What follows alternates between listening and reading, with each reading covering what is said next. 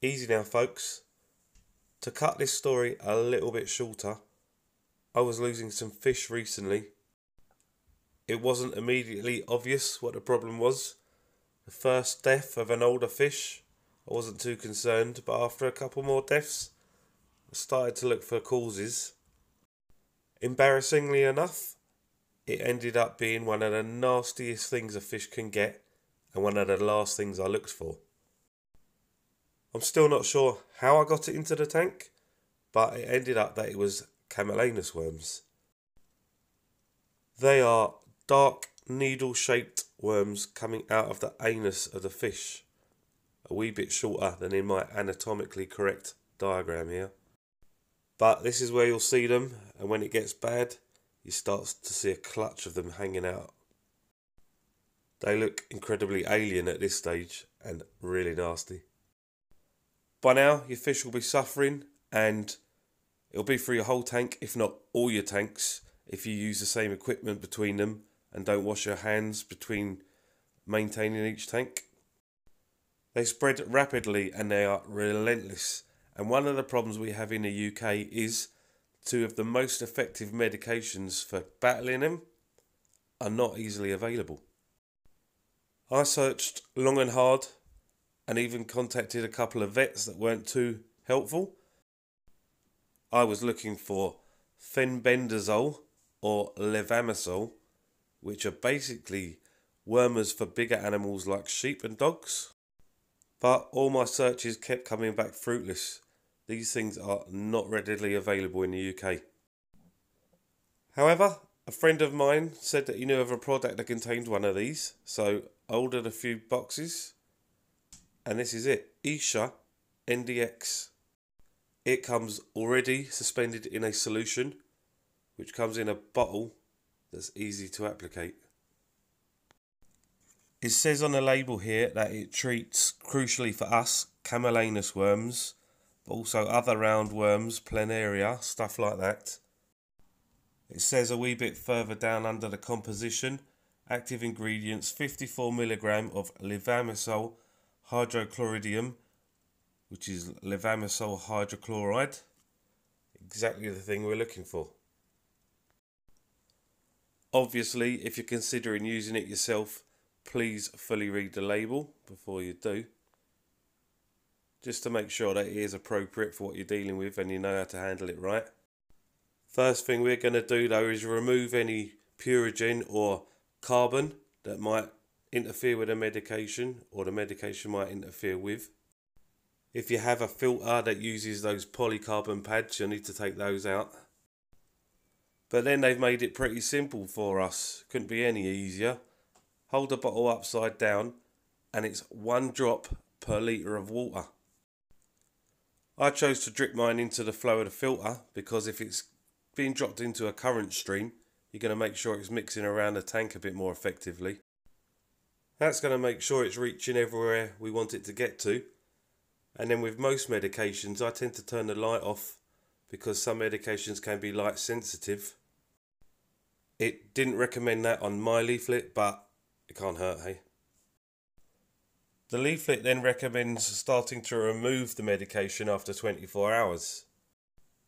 I did find some research that said that levamisole works best after three days of contact time, though. So I left mine for three days, but you guys choose what you want to do with your aquarium.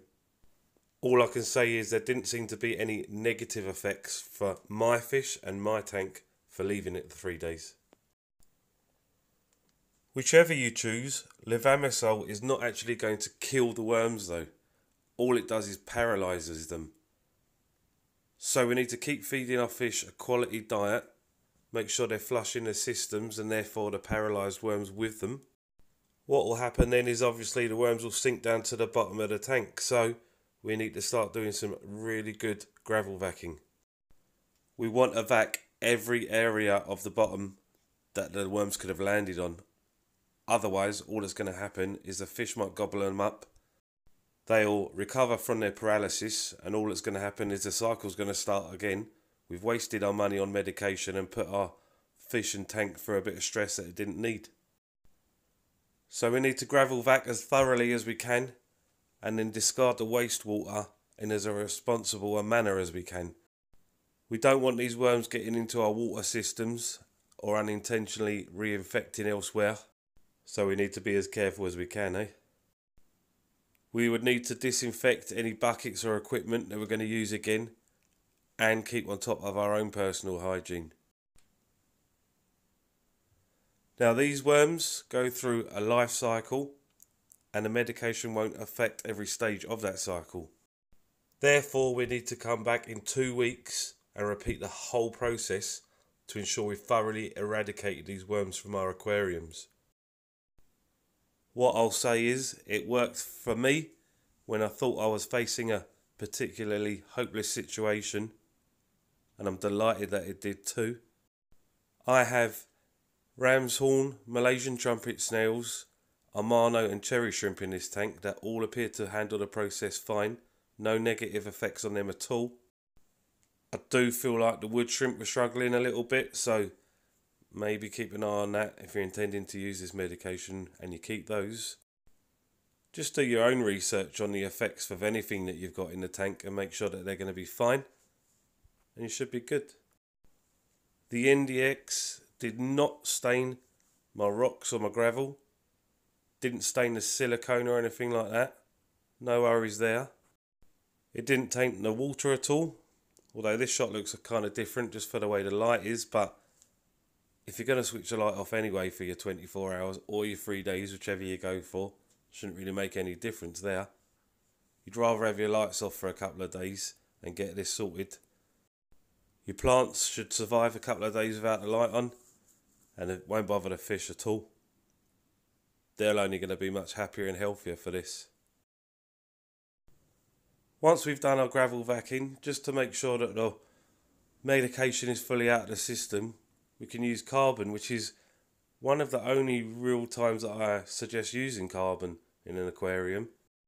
The rest of the time, I think it's more hassle than it's worth, but it is right good for getting rid of any traces of excess medication. So we can buy it loose like this. You would just pour an amount into a mesh filter bag or even a pair of, what do you call them, pantyhose or tights, if you've got any of those laying about. Stick that in your filter and it will draw the medication up. Alternatively, you can get them pre-packaged. The likes of the Fluval Flex have handy wee pouches available. Whether you use them for that or not, they're quite handy to have about, for instances just like this. Pop them in your filter, pull them out when you're done with them and get rid of them.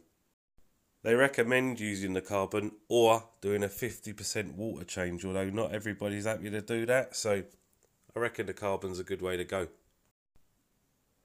So there we have it, Esha NDX, a medication that contains levamisole, which, as I said, was very, very hard to identify in the UK. If you're watching this video, I'm assuming it's because you need this information, in which case I hope it helps or if you know of other products, leave them in the comments below and we'll help each other out as usual, eh? Right, I'm out. Later, later, later, later, later.